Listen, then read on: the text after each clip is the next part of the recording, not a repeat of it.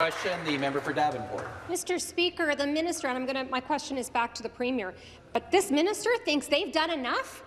He is completely ignoring the stress that students and parents and teachers have been put under when it comes to online learning.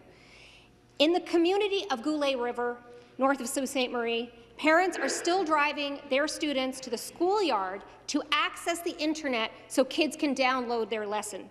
As we heard, students in Toronto are still waiting for teachers to be assigned to them for virtual learning as of last week, and despite registering in August. Teachers, I, I want to share one other one. Bella, Bella in grade four has to stay home because of an autoimmune issue. I just heard from her parents today. Her teacher is spending 90% of her time helping little kids to, to deal with their tech issues rather than teaching the curriculum.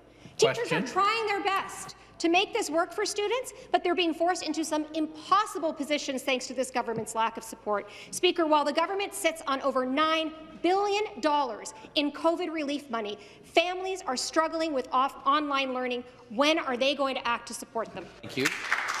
Minister of Education. Speaker, the member opposite's solution is not to enhance online learning, it's actually to scrap it altogether. And for Bella's parents, I wonder if they knew that her member would rather her not even have the choice of online learning, how she would feel knowing that that child clearly ought to be home given her own personal circumstance. It is this government who stood alone. Order. It is this government who stood alone in the defence of online learning in the negotiations. We created an online learning system that has not and never been created in the province or in this country. We lead. The Premier has Member demonstrated a commitment to, to innovation and pedagogy by providing parents a credible online learning program. We mandated funding training of every educator. We provided $69 million to hire virtual principals. We provided $30 the member for Davenport to come to over 30,000 new pieces of technology, and we've ensured internet is extended to, to every school by next September. We are firmly committed to this digital pivot. We will do everything Response. we can to support our school boards.